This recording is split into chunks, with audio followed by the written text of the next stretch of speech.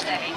Nou, we gaan beginnen onze eerste vogel erbij gaan halen die een stukje van zijn gedrag aan u gaat laten zien, zijn er een aantal huisregels die ik even met u door wil nemen. En dat is niet om u lastig te vallen, maar meer voor uw eigen veiligheid. Natuurlijk ook voor de veiligheid van onze vogels.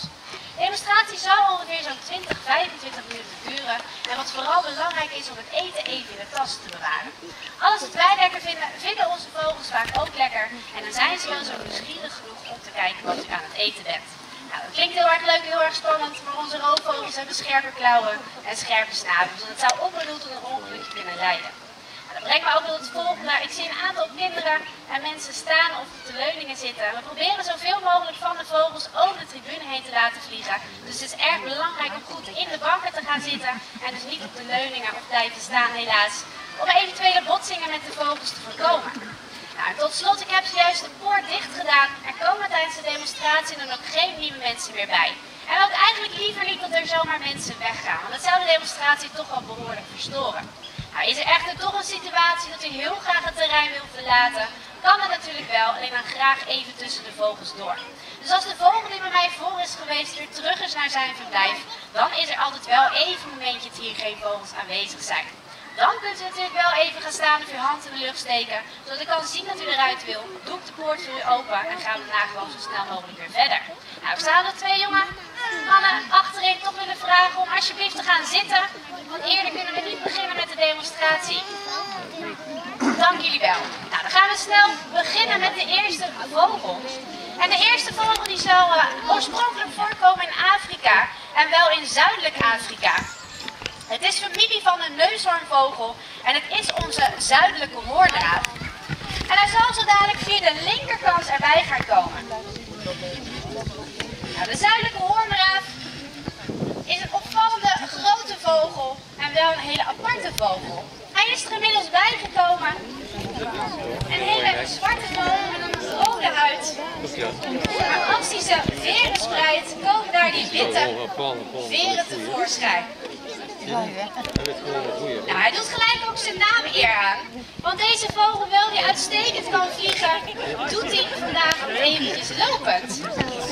En dat is ook eigenlijk uh, wat deze vogel het liefste doet. Het is namelijk een grondneushoornvogel.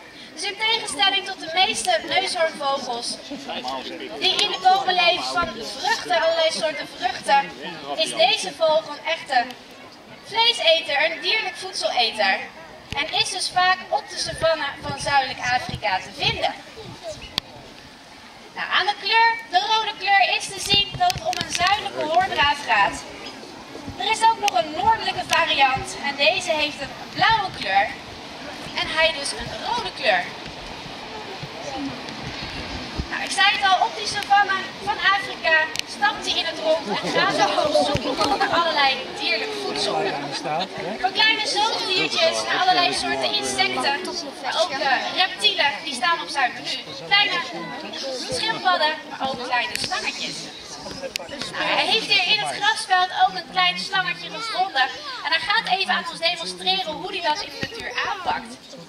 Want zo'n slang is natuurlijk best wel gevaarlijk voor zo'n vogel. Dus hij zal hem eventjes stevig achter de kop vast moeten pakken. Nou, dat doet deze vogel uitstekend. Hij draait hem eventjes goed in positie. Pakt hem direct achter die kop vast. En dan trekt hij de nekwerveltjes een beetje uit elkaar, zodat die slang verlamd raakt. Nou, als die slang eenmaal dus verlamd raakt, niks meer kan doen, dan zal hij toch nog eventjes doorgaan met het bewerken van die slang. Dus eventjes stevig met die snavel inhakken, maar ook best wel een beetje schudden, om er ook zeker van te zijn dat al die bordjes in die slang gebroken en gebrijzeld zijn. Nou, dat doet deze vogel omdat het geen roofvogel is. Hij heeft dus niet die scherpe klauwen of die hele scherpe snavel.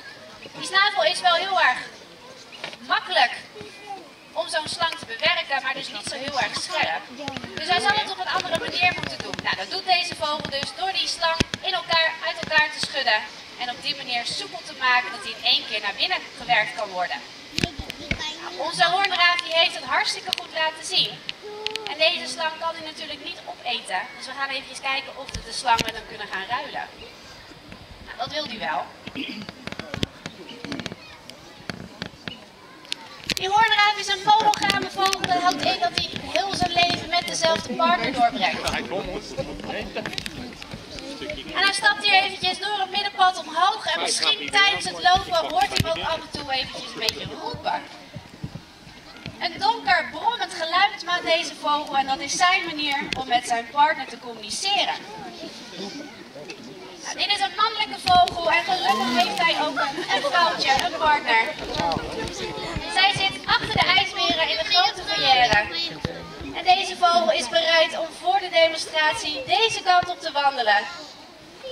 Vervolgens te laten zien aan u. En daarna wandelt hij weer terug naar zijn verblijf, naar zijn partner, om dus de rest van de dag met haar door te brengen. Nou, als deze vogels uh, willen gaan broeden, dan zoeken ze wel de veiligheid van grote bomen op. Dat ze in ieder geval niet bejaagd kunnen worden door katachtigen bijvoorbeeld. En wat er dan gebeurt is ook iets anders dan bij de meeste neushoornvogels. Want normaal gesproken zal zo'n neushoornvogel zichzelf op laten sluiten, de ingang van dat hol helemaal dichtmetselen, tot er maar een hele kleine spleet overblijft. Nou, dat doet de hoornraaf niet. De hoornraaf die houdt de ingang van het nest wel open, zodat hij en het vrouwtje er eventjes uit kunnen. En ze zullen dus met z'n tweetjes voor de jongen gaan zorgen. Nou, hoewel het vrouwtje meestal twee eieren legt, zal er vaak toch maar één jong groot komen. En dat heeft te maken met ja, dat er gewoon te weinig voedsel te vinden is. En dat deze vogels toch nog wel eens te prooi vallen aan bijvoorbeeld dus die katachtige. Nou, zo'n jong, als hij eenmaal uitgevlogen is, zal hij toch nog een aantal jaren bij zijn ouders blijven. En hij heeft dan ook nog niet die hele felle kleur rood zoals deze vogel heeft. Ze hebben een hele bleke huid. En naarmate ze ouder worden, volwassener worden, wordt, zo, wordt die huid steeds roder van kleur. En als ze dus eenmaal volwassen zijn, net zoals deze vogel, hebben ze dus een hele rode keelhuid. Maar zo kan het dus best wel zijn dat je familiegroepjes van deze vogel tegenkomt. Komt van zo'n 5 tot 7 dieren. En met z'n allen zullen ze dus ook weer voor de eventuele volgende jongen gaan zorgen. In de hoop dat er misschien wel twee jongen groot komen. Hij liet zich tijdens het naar huis lopen echt wel een beetje horen. Ook hier achter de schermen zit hij tijdelijk in een klein verblijfje. Dus mocht u hem, uh, ja, mocht u een beetje in de gaten houden, je hoort hem dus af en toe ook hier achter de schutting nog roepen. Hij is weer terug naar huis gegaan en zo dadelijk zal er een vogeltje bij komen. Een klein vogeltje, maar wel het meest gefotografeerde vogeltje van Afrika. En dat is namelijk onze volkstaartscharrelaar. De volkstaartscharrelaar ja, dus heeft haar naam te danken aan die gevorkte staartveertjes. Die uiterste veren zijn een stuk langer dan de middelste veren. En het is dus een heel kleurrijk vogeltje, maar daardoor valt ze ook wel enorm op. Nou, dat is ook de reden waarom ze altijd vanaf een veilig uitkijkpunt de omgeving niet alleen dus afspeurt naar eventueel voedsel, maar ook naar eventuele roofvogels. Want zodra zij haar veren spreidt, komen daar die blauwe kleuren tevoorschijn. En is het dus een eh, heel opvallend vogeltje. Maar als ze dan weer eventjes rustig gaat zitten, dan zorgen de bruine veertjes op haar kop en ook de de bruine veertjes op haar lijf en de groene veertjes op haar kop ervoor dat ze juist heel erg goed beschut is. Een insecteneter, allerlei soorten insecten, vlinders, motjes, die zal zij te pakken nemen en dus weer meenemen naar haar veilige plekje. Nou, ook hier met het warme weer kijkt ze echt wel regelmatig eventjes met een schuin oog de lucht in, om te kijken of het dus allemaal wel veilig genoeg is om te vliegen. Nou, ze heeft een heel scherp gezichtsvermogen. Dus dat wormpje dat liet ze vallen op het grasveld, maar ze weet hem feilloos weer te vinden. En zo kan ze dus ook vogels in de lucht die wij af en toe nog niet eens gezien hebben, toch, ja, toch wel zien. En dan zal ze zich helemaal niet meer bewegen, de veertjes stijf tegen haar lichaam aanhouden. Om er zeker van te zijn dat zo'n roofvogel haar nog ziet. volgens mij kijkt ze ook een beetje tegen het licht in hier zo. Voor haar dus wat lastiger om de wormpjes aan mijn kant op te vangen. De volkstaartscharrelaar is familie van de ijsvogel en tussen de mannetjes en de vrouwtjes ook helemaal geen verschil te zien. Eigenlijk alleen tijdens het broedseizoen, dan pas kun je zien of het om een mannetje of een vrouwtje gaat. Want het mannetje zal het vrouwtje moeten laten zien dat het een hele goede vlieger is. Want kan jij heel goed vliegen, kan je ook goed voor eten zorgen. En zorg je dus ook voor goede nakomelingen. Nou, ze heeft een wormpje wel gezien in het grasveld. Dus ik krijg hem er niet uit. Even kijken of ik er kan helpen.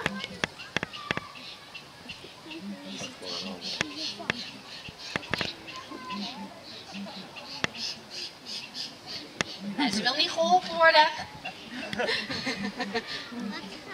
Dat mannetje zal dus naar grote hoogte gaan en ervoor zorgen dat het vrouwtje dus geïmponeerd wordt en allerlei salto's, loopings achterover naar beneden maken om er maar dus voor te zorgen dat het vrouwtje hem kiest om dus zich voor te planten. Er zijn momenten in het jaar dat je meerdere scharrelaars bij elkaar ziet.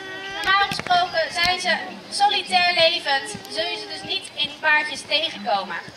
Maar tijdens bosbranden dan zorgen ervoor dat er ook de insecten naar een bepaald gebied worden verdreven. En dan zul je meerdere scharrelaars op één plek zien om dus naar die insecten te gaan zoeken. Nou, wij hebben haar de naam Imani gegeven. Wij weten inmiddels dat het dus wel om een vrouwtje gaat. Maar normaal gesproken zul je dus aan het uiterlijk van dit vogeltje niet zien of het om een mannetje of een vrouwtje gaat. Nou, onze volksstaatschouwelaar die gaat weer huiswaarts. En na een stukje Afrika gaan we terug naar Europa. In Europa komen er ook allerlei soorten roofvogels voor. En ook een heleboel soorten uilen. En de twee uilen die er zo dadelijk bij gaan komen, dat zijn onze Europese oehoes. En oehoes, dat zijn eigenlijk de grootste uilen van de wereld. En de Europese oehoes is de grootste van Europa. Wij hebben er twee, het zijn twee broers. En dat is eigenlijk best wel bijzonder. Want normaal gesproken zul je oehoes, twee mannetjes, niet normaal gesproken in hetzelfde gebied tegenkomen.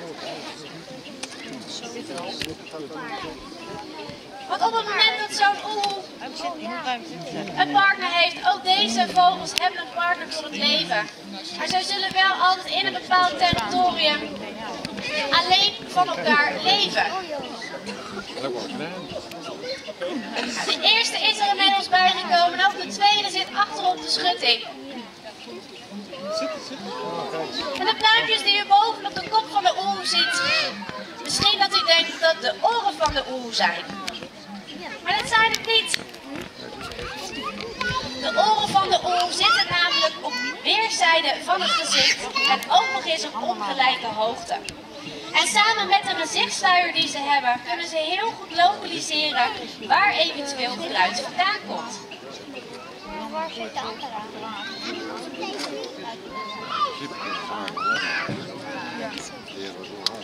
Kunnen gewoon net?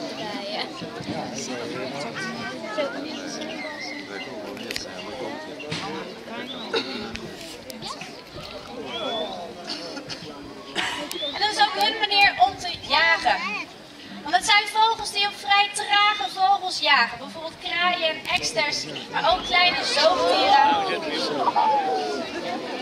En ik was eigenlijk natuurlijk helemaal niet stil, maar als het goed is, heeft hij hem niet horen overvliegen. En ook dat is dus een manier om te kunnen jagen. Maar ze blijven dus op een veilig uitkijkpunt de omgeving afspeuren naar dus iets wat dichtbij genoeg is om in één keer aan te vallen. Dus ze zullen urenlang op een bepaalde plek rond blijven hangen, net zo lang totdat het dus dichtbij genoeg is.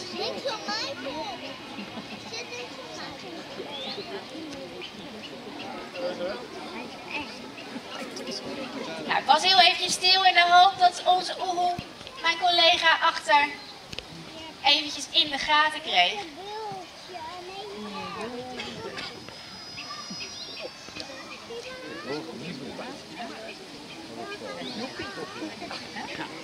Niet te denken. Daar gaat het. Aan de kleurogen van de oel kunt u ook zien op welk moment van de dag ze het meest actief zijn. Onze Europese oehoes hebben oranje ogen en dat wil zeggen dat ze overdag, maar ook in de schemering heel goed kunnen zien.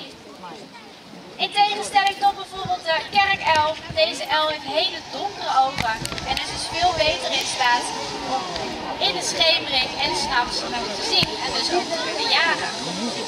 Je kunt een beetje zeggen, hoe lichter de ogen, hoe eerder op de dag ze actief zijn. Nou, ik zei het al, kleine zoogdiertjes weten ze dus te pakken te nemen. En ook bijvoorbeeld is bekend dat deze vogels op egels jagen. Hoe ze dat precies aanpakken, dat is niet helemaal bekend.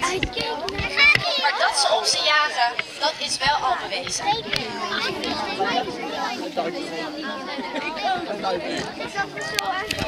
Dat deze vogels uh, geluidloos kunnen vliegen, heeft te maken met hun veren.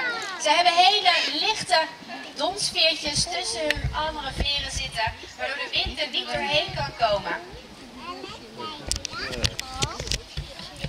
Andere vogels hebben die donsveertjes niet en zij kunnen dus niet geluidloos vliegen, in tegenstelling tot, onze uilen. En ik begon al dat deze uilen best wel bijzonder is dat we twee broers hebben. Omdat ze als ze een territorium uitkiezen, zorgen ze dus voor dat ze een territorium delen met een vrouwtje. Maar absoluut natuurlijk niet met een andere man. Oh, zo!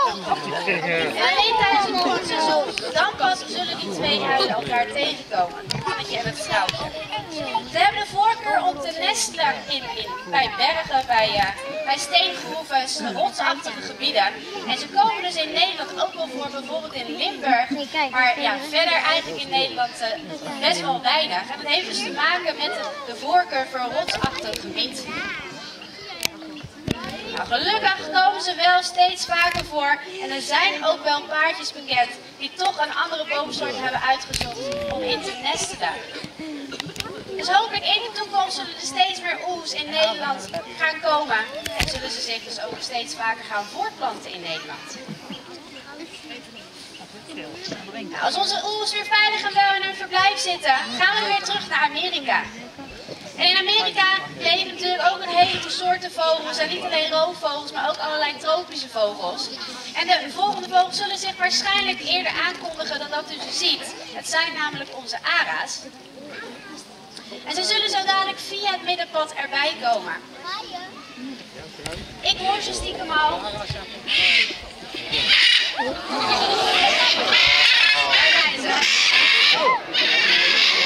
Verschillende soorten ara's en het schreeuwen dat wat ze doen, dat doen ze eigenlijk ook niet zo voor niks. Want op het moment dat ze blijven vliegen, moeten ze natuurlijk vogels wel laten weten dat ze er buiten komen. Plus, als ze hun verblijf uitvliegen, zijn ze hun eigen naadje ook wel even. Dus ze elkaar in de lucht natuurlijk weer zien op te zoeken. Maar hebben dus flink te zorg er dus voor dat je je partner of je maatje in de lucht terugvindt. En je dus weer met ze, ja, met, met meerdere bij elkaar lekker kunt gaan vliegen. En we hebben ook verschillende soorten ara's die erin vliegen. De blauwgele ara, makkelijk herkennen met een blauw met gele verenkleed. Er vliegt ook nog een geelvleugel-ara mee. Zij vliegt, of hij vliegt op dit moment met de soldaten-ara's mee. Is te herkennen aan de gele kant van zijn vleugel. En dan met name groene ara's, dat zijn onze soldaten-ara's. Nou, onze soldaten-ara's die doen nog niet zo heel erg lang mee met deze demonstratie. Mensen die vaker in Blijden komen, die herkennen ze misschien van de carrière naast de Ibissen. Want daar komen zij vandaan. En we hebben een aantal weken geleden besloten om ze hier bij de demonstratie erbij te voegen. En uh, nou ja, ze vinden het volgens ons heel erg leuk om lekker hier rond te vliegen. Nou, met name die blauw-gele die zijn met hun eigen partner verder gaan vliegen. En ook dat doen ze zo niet zonder reden. Want in de natuur, als ze een leeftijd hebben bereikt van zo'n 5, 6 jaar, dan gaan ze op zoek naar een vaste partner. Want ook zij hebben een partner voor het leven. Eenmaal die partner gevonden, doen ze daar dan ook alles samen mee. Gaan samen op zoek naar voedsel, maar poetsen bijvoorbeeld ook elkaars veertjes op plekjes waar ze zelf bij kunnen komen.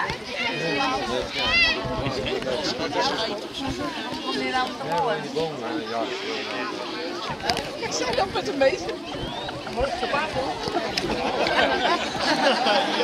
Ja, daar waren we al een beetje bang voor. Zei het al, soldaten zijn dus nog een beetje in training en vandaag zijn ze een beetje begonnen om ons lekker uit te dagen. We hebben nu drie demonstraties gegeven en alle drie de keren komen ze naar beneden. En helaas geldt het dus ook ervoor dat onze andere ARA's ook dan denken naar beneden mogen komen.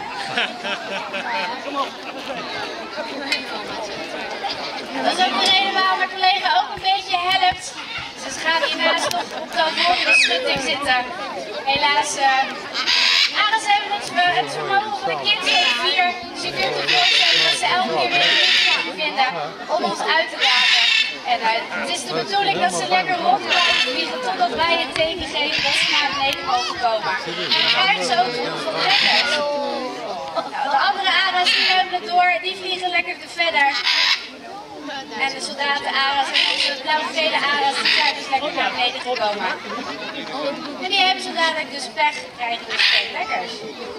Het begon dus dat onze ARA's, als ze dus een partner voor het leven hebben gekozen, dat ze dan ook alles samen gaan doen.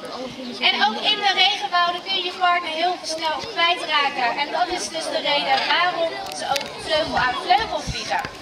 Vaak raken die vleugeltipjes elkaar zelfs aan en ook dat is dus een manier om je partner bij je te houden. Als ze elkaar dan toch kwijtraken, dan kunnen ze dus ook nog eventjes naar elkaar schreeuwen en in de hoop dat ze elkaar dan kunnen vinden. Nou, gelukkig zijn onze blauw-gele aras toch weer verder gaan zoeken.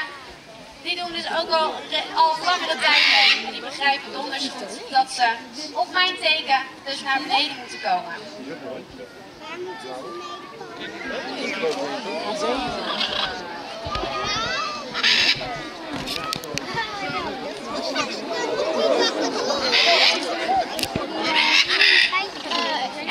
Allemaal hun eigen plekje op. Want hoewel er als hele sociale vogels zijn, zijn ze het liefst dus samen met hun eigen partner. En zijn wel dus in grote groepen bij elkaar te vinden als ze op zoek gaan naar voedsel. Maar zodra ze dan weer gaan rusten, gaan slapen, dan zullen ze er wel altijd voor kiezen om een tak uit te kiezen en met hun eigen partner dus de nacht door te brengen.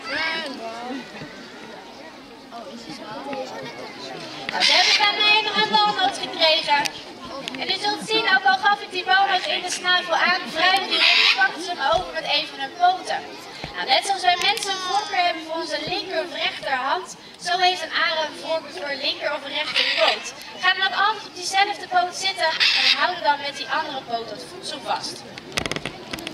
Nou, ze hebben van mij een hele walnoot gekregen, maar ook ja, als ze zo'n noot vinden, draaien ze heel snel in de snavel rond. En dan gaan ze met de vlezige tong op zoek naar een zwakke plek. En als ze dan eenmaal die zwakke plek gevonden, want iedere noot heeft wel een zwakke plek, dan zetten ze daar het puntje van die scherpe snavel in en breekt die noot dus ook met gemak open. Nou, ze hebben van mij een walnoot gekregen, maar dus ook hardere notensoorten zouden ze met gemak open kunnen kraken. Nou, naast een heleboel noten en zaden eten die arends ook heel veel fruit. Niet altijd is dat fruit even rijp en soms ook wel wat giftig. En dan gaan arends op zoek naar klei. En die klei die zorgt niet alleen voor de mineralen, maar die klei die zorgt ook voor die giftige stoffen daaraan binden. Dat moeten ze dan weer uit en op die manier reinigen ze eigen lichaam. Nou, onze soldaten arends die zullen de rest van de demonstratie hier ja, denk ik wel een beetje rondvliegen.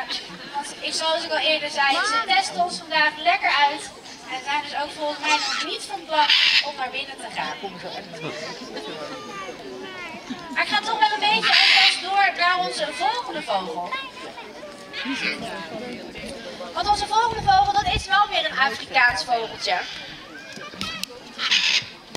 Hij doet nog niet zo heel erg lang mee met deze demonstratie. Het is onze hamerkop. En hamerkop, ja, dit is eigenlijk een unieke vogel. Alleen staat hij in zijn soort. Ik wacht natuurlijk eventjes tot mijn collega ook in de gelegenheid is om de hamerkoppen uit zijn verblijf te laten. En ik loop al een beetje naar de zijkant, want daar zal ze dadelijk links van u erbij komen. Die hamerkop is dus een unieke vogel, staat alleen in zijn soort. En het is een echte watervogel.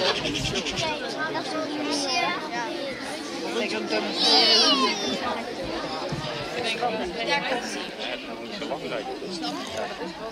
hij. Is alleen, en dan zijn we niet zielig, want deze vogels houden eigenlijk niet van van andere hamerkoppen. Alleen zijn eigen partner, die zou die wel nou ja, dat is eigenlijk niet gesproken hebben onze hamerkop ook niet in de. Dus. Die hamerkop is dus een uh, ja, levensgebieden waar veel water voorkomt. En het is dus een aparte vogel. De naam hij aan de veertjesachtige kop. Die vormt dus als het ware een beetje een hamertje. En in Afrika, waar deze vogel dus voorkomt, vinden ze deze vogel zo mysterieus. En dat heeft te maken met de nesten die ze bouwen. Ze maken enorme nesten. En deze vogel die komt uit de gierenfoyer waar ook zijn ouders zitten. En daar kunt u ook die enorme nesten hangen. En die nesten die vrolijken ze op met alles nog wat, wat ze tegenkomen. En het kan dus van alles en nog wat zijn, allerlei soorten papiertjes die ze tegenkomen. En maken er bouwwerksels van zo'n al, anderhalve meter in. En dat ze dus die gekke nesten maken en ook omdat het maar ja, een donker apart vogeltje is, vinden ze in Afrika zo mysterieus dat stammen echt vermoeden dat op het moment dat zo'n vogel overvliegt, dat er onrust gaat heersen. Dus dat er bliksem gaat komen, of dat er brand gaat komen, dat iemand gaat overlijden. Het is zelfs zo erg dat deze vogel daardoor eigenlijk niet bedreigd wordt. Omdat op het moment dat ze zo'n vogel zouden doden, het ook zo ongunstig zou zijn voor zo iemand. Dat ze deze vogel absoluut met rust proberen te laten. En hopen dat ze hem nooit tegenkomen. Nou, onze hamerkop die laten we hier lekker tijdens de demonstratie rondhuppelen. Het kan best zijn dat hij af en toe eventjes gaat vliegen hierachter uh, naartoe gaat. Maar ik zie dat onze volgende vogels er al bij zijn gekomen. En dat zijn onze zwarte bouwen.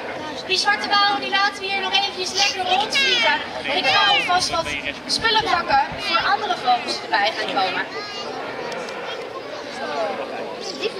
Wauw. Je zult wel denken, wat gaat ze in principe pakken? Spullen die mensen misschien niet zo smakelijk eruit zien vinden zien. Maar wat onze vogels erg lekker gaan vinden. Want in Afrika gaan natuurlijk ook dieren dood. En als die dode dieren niet worden opgeruimd, dan kan het natuurlijk best wel een zootje gaan worden. En daar heeft de natuur wel wat op bedacht. Namelijk gieren.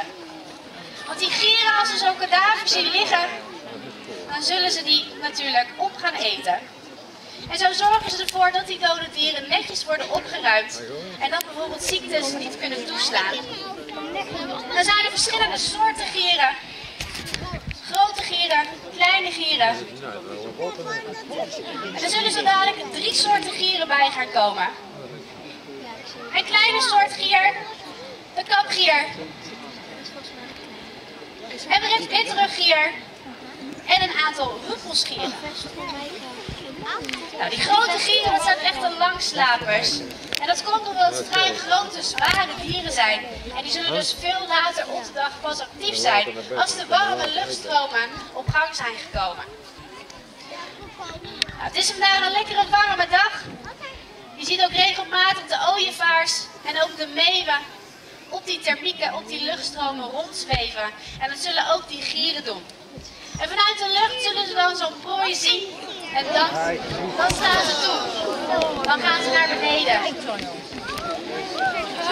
En dan gaan ze gelijk op zoek naar dus het stukjes vlees of zo'n kadaver die ze zien liggen. Nou, het gaat hier meteen heftig aan toe. Er is genoeg voor iedereen. En toch zullen de jonge gieren continu proberen om de beste stukken vlees te bemachtigen.